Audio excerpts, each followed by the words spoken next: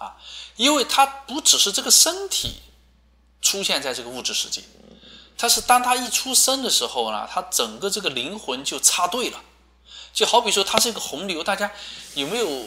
大家给我想象一个画面啊，啊，这个画面怎么给大家说呢？这个有如果有人见过朝拜的图，就是在那个啊。这个穆斯林在那个中东朝拜，他有个人流图，就是中间有个房子，然后旁边围着几万人，有内圈、外圈，密密麻麻的那个人啊，就是一个他一个巨大的广场，有上万人在围在里面转圈，啊，那个时候每个人都要朝同一个方向走，有一个人摔倒了，可能整个这个队伍就会那样，就它是有流的，大家。听得懂吗？就是这个世界的东西，你是插队进来，你要找到你的位置进来的，啊，因为它是一个幻，它整个幻象是个程序，啊，这个就好比，如果这个大家没有见过朝拜那个图，我再举个例子，大家想象一下，那个大家有没有见过那种电视上动物世界上那个啊大草原上，就是成千上万头牛在奔腾的场面？叫万牛奔腾，有没有见过？每一头牛都是惯性很大，力量很大，它都在高速的奔腾。这个时候呢，你要插队进去，啊，你要插队进去，你不是随便插的，你得有那个位置。但我指的这个不是肉身插队，大家我指的是意识流。因为当你的意识流加接接轨人类集体意识的时候，你就是人类集体意识的一部分了。那么跟你相应的缘分这些东西都接上了。当然，这个是从幻象角度来说，从这个二元角度来说啊。所以啊，我们当我们出生的那一刻啊，我们就已经在，我们已经是这个程序的一部分了。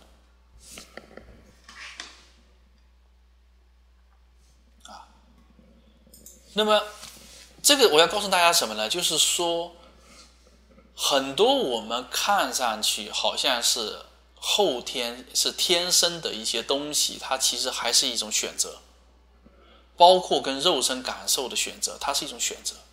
这种选择是我们选的，只是我们遗忘了啊。因为在这种选择中啊，它也会有一些例外啊。比如说，我们认为我是这个身体啊，选的身体。身体怎么的我就会痛啊？但是世界上还有一种病啊，它叫做无痛症。这个大家可以查。以前我是在那个一个一个老外，他告诉过我，他认识一个小女孩，就是这种病。他是什么？他在投胎的时候出了个小问题，其实也是他灵魂的选择。他选择性的屏蔽了身体的疼痛感受，所以他父母就很就得处处看着他。啊，为什么呢？因为他没有这个感受。如果比如说他玩火可以把它烧坏了，他也不会痛。啊，他选择这个东西呢，医学上他也就不好解释，但医学上会有一些牵强附会的解释。但是他们其实不知道这个东西到底是什么东西，他其实就是对身体没有感觉。他认为这他的觉知认为身体跟万物是一样的。啊。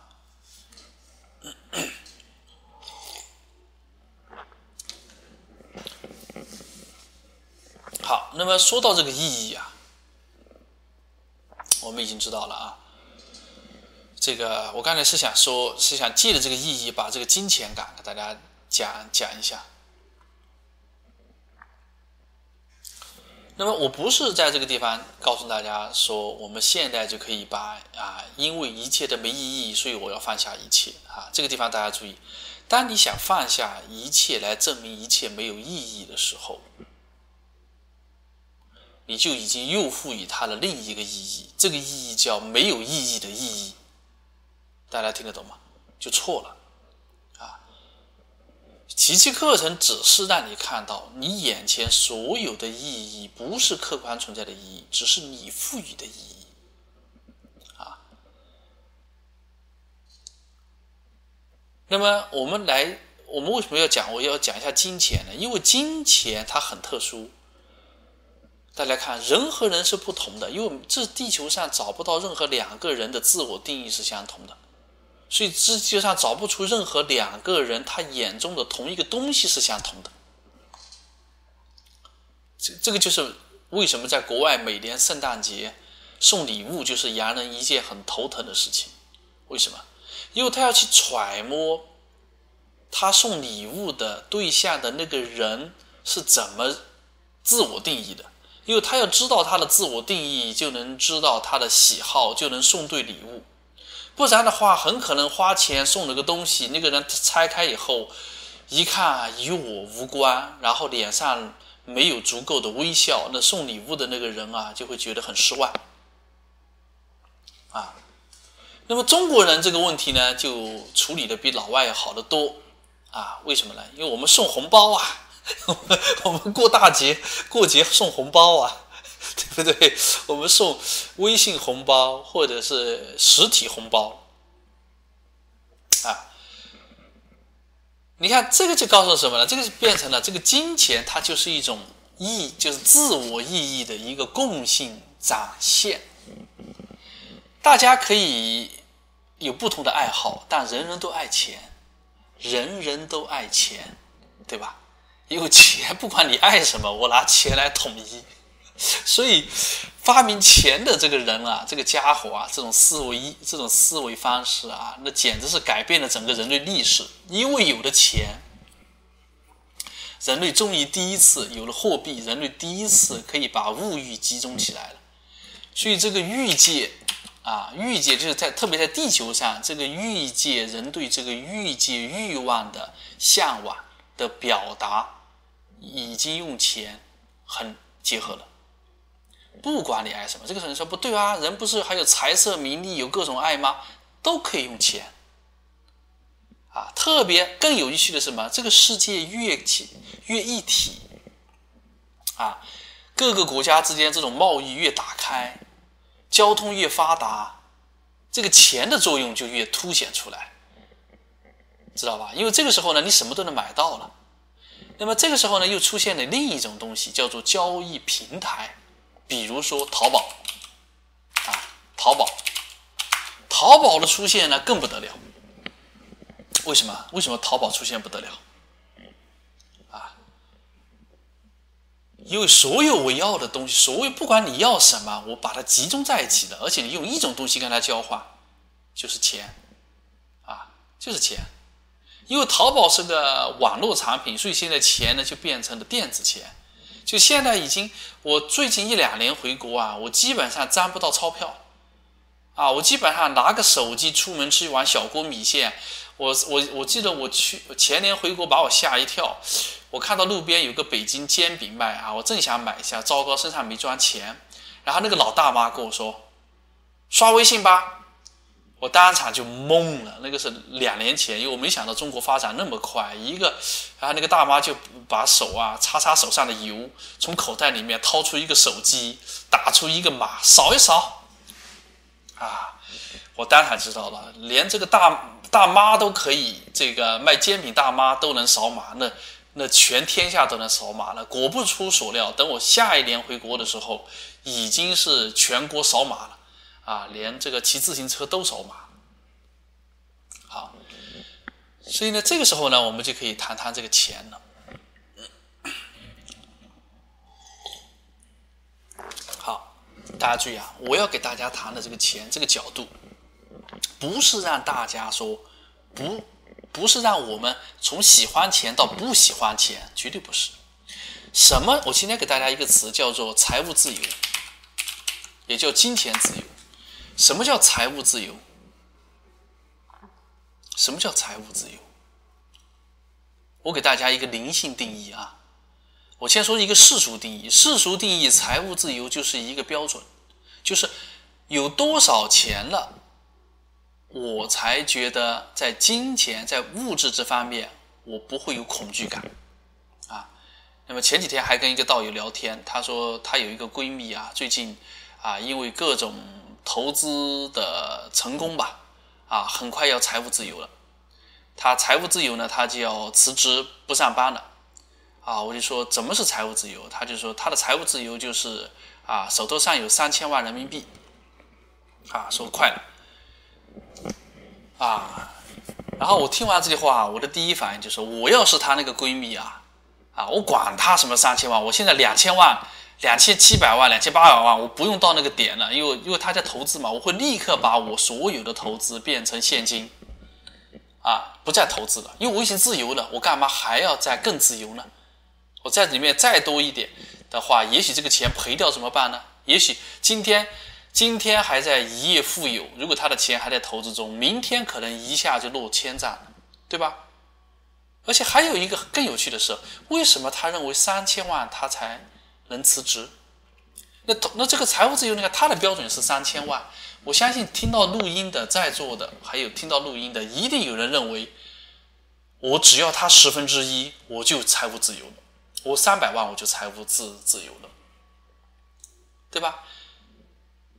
所以大家有没有感觉到，他这个东西啊，它是一种，它完全是一种比较出来的。当然了，这个时候呢，我们在一层一层，我们来剥离这个金钱的恐惧。其实金什么叫财务自由？我现在给大家一个灵性定义：真正的财务自由，就是在金钱上你没有恐惧了，这个叫财务自由，这个叫真正的财务自由。听懂吧？就是说，你的人间生活，你已经达到一种因果修正，你知道了这个世界。也就是说，你只有在真正产生慧见的时候，你才能达到财务自由。因为你知道了这个世界是一场梦，而且你知道这世界背后的运作原则是心灵。你知道了，你不是这个身体，在这个点上，你才能达到财务自由。那个点上呢，金钱就真的变成了钱多多花，钱少少花。啊，你那但是在那个点上，你很多需求，你会有另一种目光去看。好，大家不着急，我带大家一层一层的破。第一，我们来破两个概念，就是我所我想要跟我需要，就是英文叫做 want vs need。want vs need 就是想要和需要。那么这个世界人为什么需要的钱越来越多？你看在。就在我们有生之年，我们不用说古代啊，就在我的记忆中，七十年代、八十年代曾经是一个没有什么 want，只有 need 的时候，只有需求的时候。就在不久前，人们还说啊，我们的口号还是说，我记得我小时候有一句口号啊，就是说这个苏联有一个总书记叫赫鲁晓夫。那么他当时呢发誓要给苏联人民过上共产主义的幸福生活。什么是共产主义呢？就是要让每个苏联人民都能在家里面吃上土豆烧牛肉。那个时候啊，苏联人民听到土豆烧牛肉这个概念，就跟现在灵修圈听到大家去天国一样的。因为那个时候在他们的信仰中，他们抛头颅洒热血革命啊，各种改革，一切就是为了过上共产主义。呃，家家能吃上土豆烧牛肉，啊！现在没有谁会认为自己吃了一顿这个土豆烧牛肉，自己就财务自由，自己就已经是自由的，没有。啊，也就是就在不久前，我们还在一个认为这个这个中国改革开放的目的是为了让人民过上衣食无忧的生活。衣食无忧啊，这个这个词啊，out 了。大家明白吗？out 了。大家知道这个词在地球上，人们用它形容自由多少年吗？物质自由多少年？就这个词“衣食无忧”这个词，大家知道吗？我们是，我们用了几千年啊，这个词啊。大家大家仔细想一下，一个用的，一个在几千年，我们都用“衣食无忧”作为物质自由的标准。而在我们有生之年，但这个词也许在座的八零后、九零后不太熟悉，七零后、六零后、五零后一定知道这个词曾经就是我们的目标。现在 out 了，现在九零后的小孩、蛋蛋后出生的小孩，他不懂什么叫衣食无忧，他也许听过这个词，但他不知道这个词什么意思。衣食无忧都不是名穿名牌、吃好吃差，是饿了就能吃。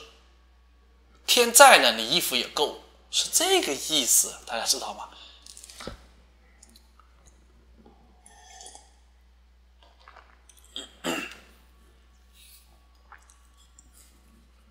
好，那么当然了，人们会说，人要有追求啊，你不能只是衣食无忧啊。这个就是幻象世界的规律，因为幻象世界的规律就是小我永远让你向前看啊，前是前面的前，向前看，永远让你向前看。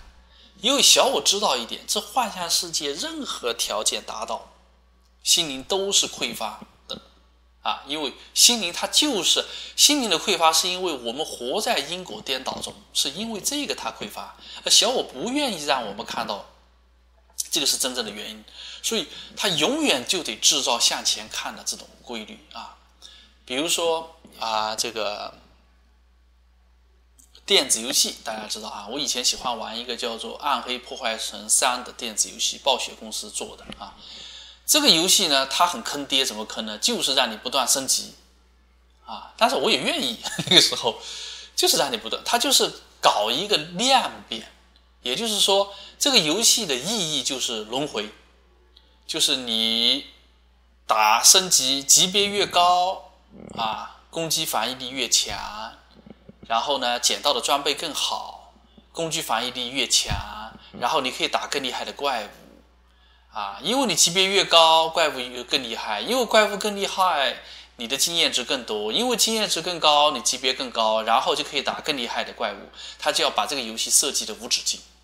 这个游戏最初的设计叫做叫做三个层次，这是《暗黑破坏神二》，叫做啊普通版、噩梦版、地狱版啊，就是就是难度叫做初级、中级、高级。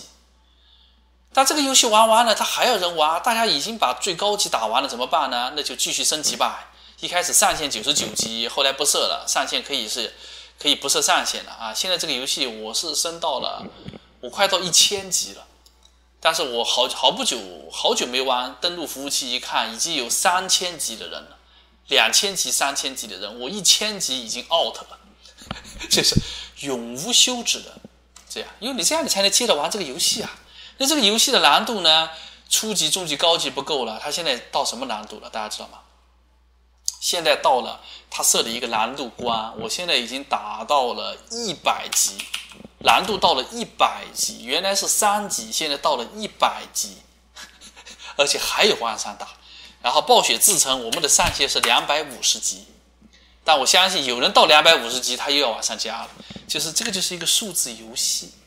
那么我想告诉大家的时候呢，物质游戏都是这样的，物质游戏、物质社会的游戏都是这样的，所以大家一定要分清你想要什么和你需要什么。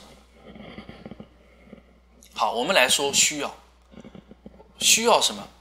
你首先你要确定你的人生目标是什么。你没有人生目标，你回答不出你需要什么。我的人生目标就是在我有生之年。培养我的慧见啊！为什么要培养慧见？不培养慧见，我不知道我能不能去天国啊？去天国不是你信你信你就去的，不是说你信耶稣走个后门就去了。大家知道吗？去天国是怎么去的？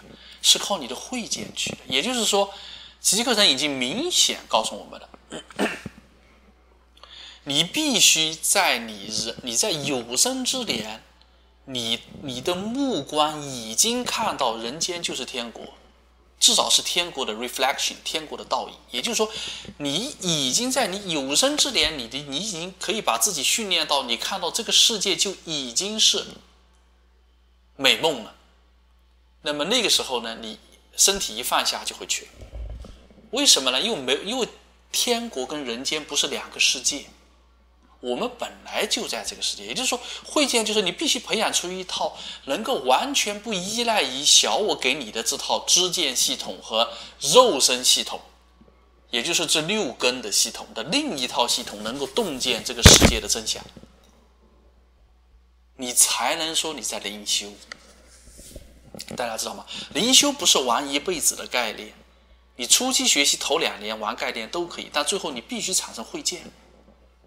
必须要有的，啊，当然现在我们有会见的人还非常少，但不着急，我们在这条路上呢，个别几个道友在跟我的交流中，我已经发现他们都产生会见了，只是初级，但是已经有一点点了，至少知道这个滋味了，还真的是有会见的存存在，啊，因为这世界一切就是用心看嘛，就是我们用千百年的时间训练我们的心，透过万箭看世界，看到了现在这个样。现在我们完全可以用有生之年训练我们的心，用另一种工具看这个世界，就是圣灵目光嘛。这个时候世界就不，这个时候你会套两套世界，你会你会两个目光都会有。你的眼睛会告诉你这是个杯子，你的心会告诉你这是你的心。但这个不是概念，那么这个就是我的人生目标。好，这个我们就说了，目标要统一。如果你人生还有多个目标，你的意义就是杂乱了。这个就是目标。那么在这个目标统一了就好办了。那折回来看金钱就好办了。那金钱就是为这个目标服务的，不只是金钱，是这个世界上一切东西都是为了这个目标服务的。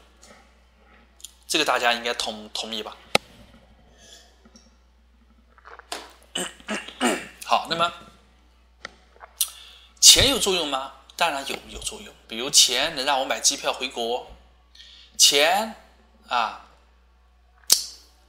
能让我买这个新出的书，钱能让我啊这个穿的舒服啊，能让我，总之呢，一定是还有它的作用，它会服务我啊，让我生活更方便，交流更通畅。啊，对不对？道友说，钱能参加小飞虫的工作坊，对我们只要办工作坊，只要有活动就会产生钱。几个道友出去聚会，坐下来喝顿茶，最后还有人要买单，对不对？好，这个叫做 what you need，这个叫做你的需要。那大家知道啊，需要跟想要之间差距有多大？大家知道吗？不可思议的，你仔细想一想，你我们基本上百分之八十的钱是花在想要上，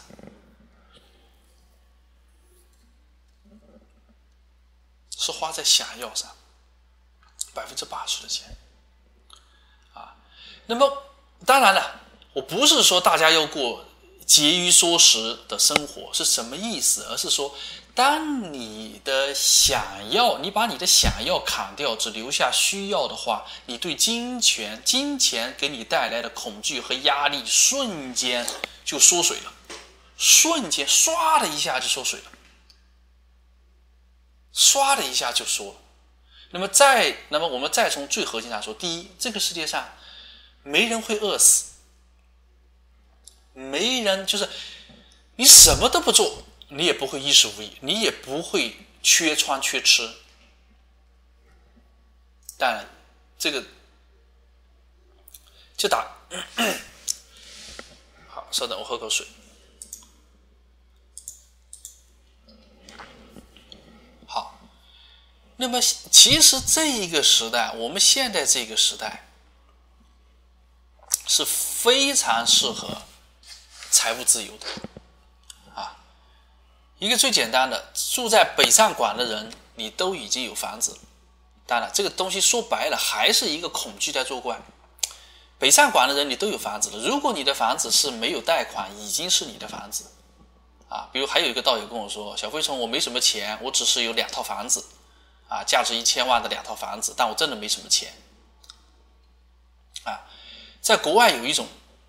有一种生活方式，就是有一些人他提前退休，比如说他本来要六十五岁退休，他五十岁就退休了，他怎么退呢？他有两种方法，第一种，他把房子卖了，租房子住；第二种，他把房子抵押给银行，让银行每年按照房子的折价来付给他，发工资给他，发工资给他，到他走的那一天。如果房子还有百分之二十的余额，当遗产给下一代人；如果没有余额，花完就算，啊。所以，但这个里面呢，我们要突破的是什么？是小我的一个恐惧嘛？小我就是说，哎呀，我要走了，这世界上什么都没有，什么都没留下来，怎么办？你本来也留不下来，就是说，可以明确的跟大家说，等你闭眼的那一刻，这个世界就是一场梦。你现在是在花梦中的钱，不管你，等于说你昨晚上做了一场梦里面发财的梦。你赶快花吧，因为等你天亮就没了，就是这么一回事情。这个，这个是，这个是一个我们要思维上要转化的一个东西。那么我说这个不是让大家放下你的工作，不是让大家不做你的工作，不再赚钱，不再上班，不是，因为我们的修行就是工作本身，知道吗？修行就是生活，生活就是修行。你做，只是说这个时候，当你不再为钱而做这些事情的时候，你的灵性就显化出来了。当你为钱而做的时候，你不可能两者兼顾，因为你的目标不统一，对吧？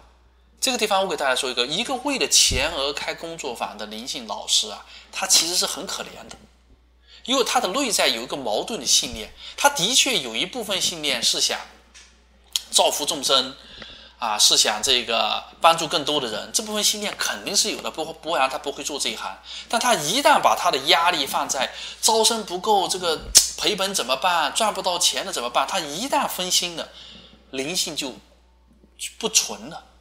他很多东西就带不出来，所以你第一步说，我今天给大家讲了什么叫财务自由。财务自由不是你有多少钱，你需要多少去多少，而是在你的这个剧本中，你能做到不为钱而做事。这个时候，钱就变成钱，就真正的变成了工具，而不再是制约你的。因为这个里面啊，你怎么知道你是财务自由不自由？你卡死一个标准。一个标准就够了。什么标准呢？看你的因果，看你的因果。当你为钱而做事的时候，是因果颠倒的，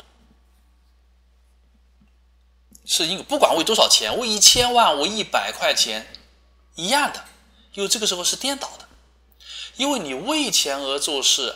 你要问，再问一句，为什么要为钱？因为你内在一定有个恐惧，这个恐惧说没钱，你就不是你了；没钱，你的生活就不好了；没钱，你就得不到你想得到的；没钱，你的生存就受到威胁。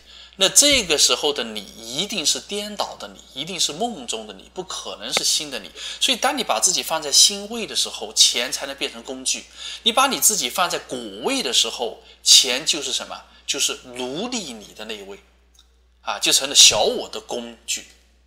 所以这个钱到底是圣灵的工具还是小我的工具，就看你这个因果的关系是什么来决定。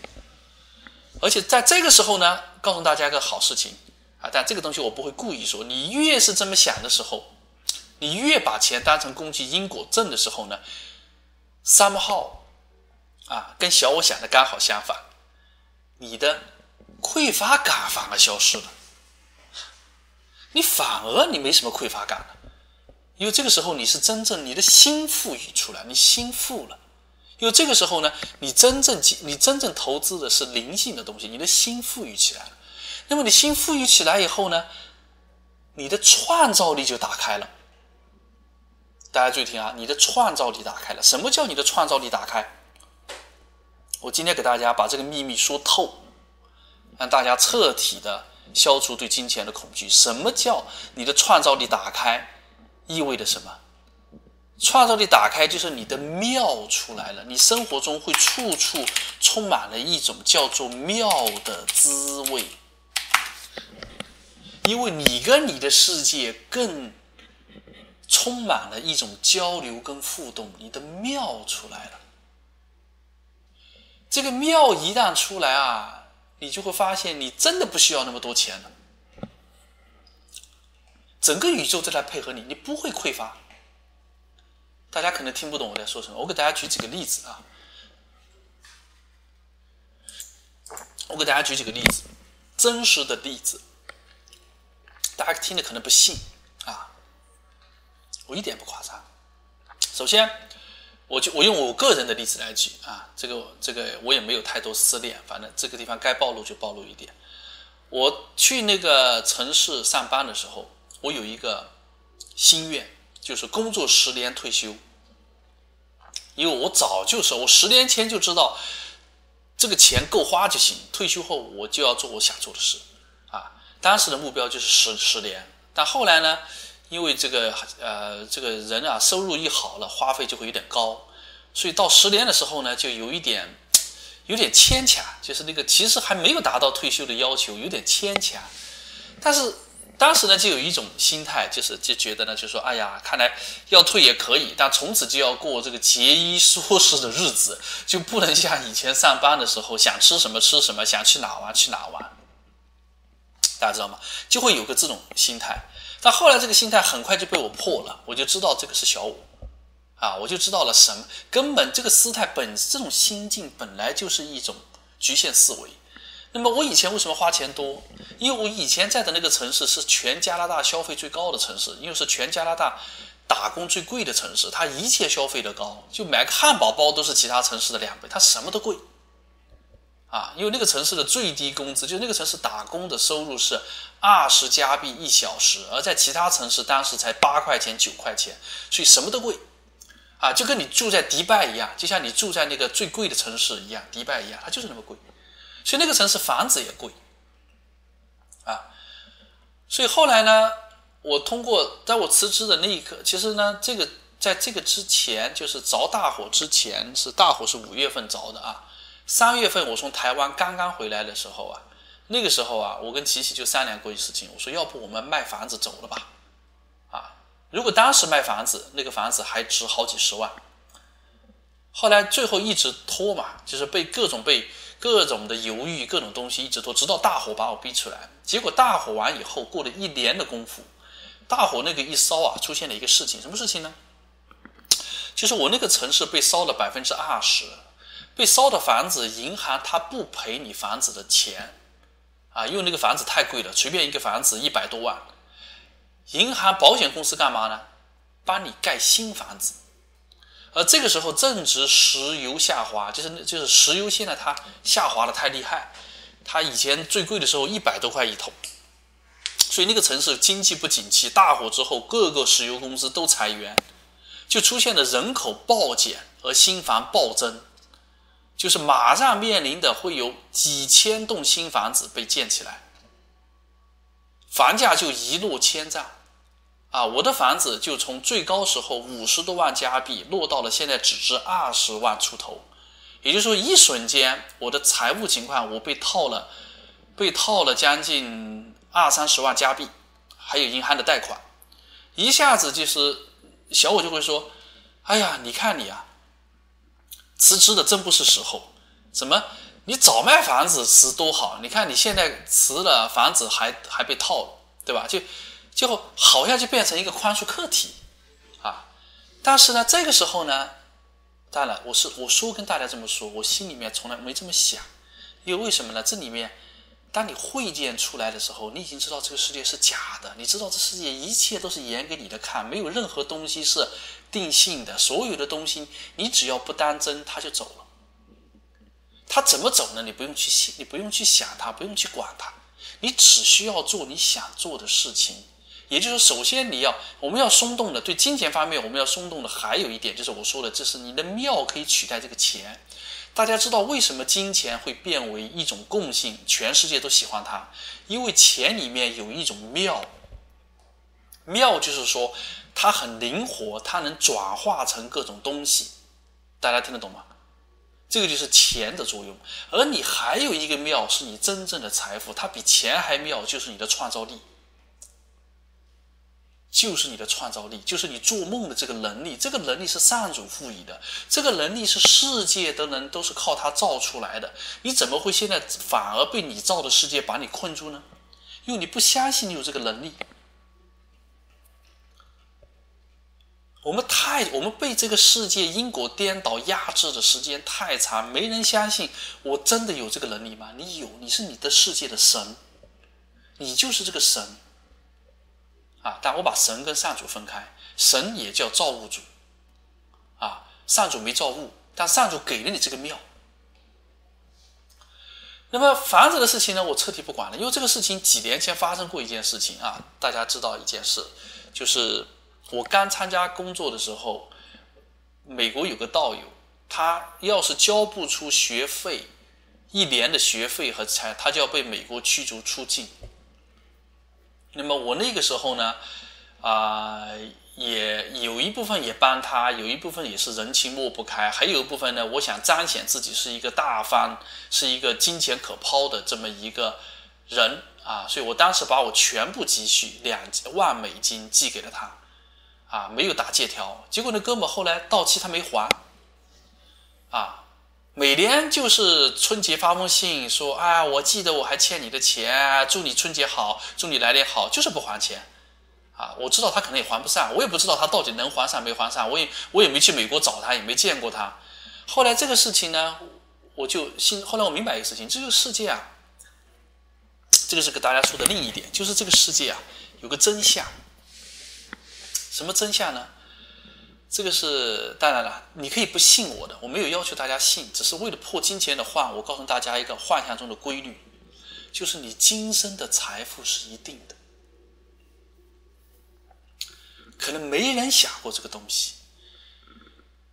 我以前玩八字的时候，我就算过了，它各种的组合，比如正印代表你会。得受富禄之财，偏财你做生意会赚钱。它很多东西它是一定的，这个东西在佛法上叫福报，但它不一定是以这个数字的方向表现出来，啊，不一定是以数字的方向。比如说有的人，比如说如果你官位显赫，你也许不需要钱。大家有没有这种感感觉啊？就你如果你在某个特殊的位置上，你也许不需要钱。就打个比方，小飞虫回国，我也许真的不需要自己钱，也许我就说我想吃饭，也许就会有想跟我聊天的道友请我吃饭。我可能在中国每个道友家吃一顿饭，两个月下来，我的食神满满的，就是八字上的食神满满的，吃了好多好吃的，最后没花钱，这很有可能的，对吧？当然，这个是一个，这个是个特，这个是个吃饭的例子。那同样的例子很多，就是他这种二元中的这种物质享受啊。这种物质享受啊，大家明白啊？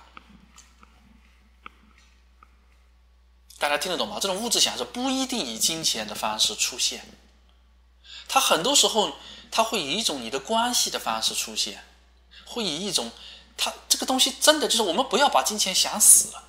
那同样的道理呢？有个人可能一夜之间挣了一百万，但他他就是没有花这个钱。他可能挣完一百万以后呢，突然家里面一个人得癌症了，必须他相信了化疗，几次化疗下来钱都没了，对吧？还有的人呢，可能这个各种贪污，这个赚了很多。就像以前我大家举的那个例子，有个人贪了几十套房子，最后没有一套他住过。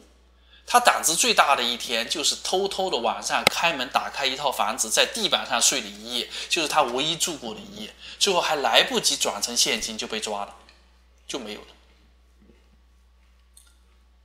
就说这一切都不一定，大家不要把钱当死掉。也就是说，如果当你一生中你的二元中的这个福报是固定的时候，是一种定制的时候，那么你瞎折腾些什么？我说这些不是为了大家，我不是说越穷越光荣，大家听懂我的思路吗？我是告诉大家不要被小我骗了。小我告诉你这个是决定你的一切，它不是的。即使在二元内都不是那么一回事。